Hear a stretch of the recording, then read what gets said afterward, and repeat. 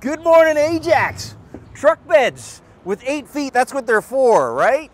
No, you can put your drywall in, close the tailgate, and it's all hooked up right in through here.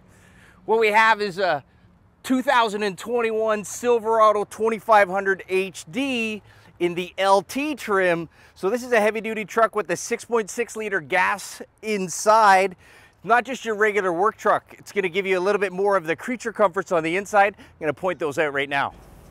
So you get your push button start. Obviously, both of you in here can have your dual zone climate control, heated seats, that's part of the LT package. Plus, also for those winter mornings, you can have your heated steering wheel. This one is also a 4x4 model as well. As you can see, you got your two high, four high, and your four low, so it keeps it real simple. And then your your notification is right up here in the driver information center.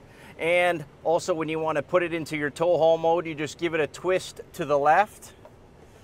And now you can see your icon. You're in tow haul mode right through there. And what would a heavy duty truck be without your roof marker lamps? You gotta know where the top of your truck is. And also on the side of these, we have our uh, camper mirrors, tow mirrors as they, they seen. They do extend out if you want and they can fold them in easy peasy, just like that. So 2021 Chevrolet Silverado 2500 in the LT trim. Come on down, take a look.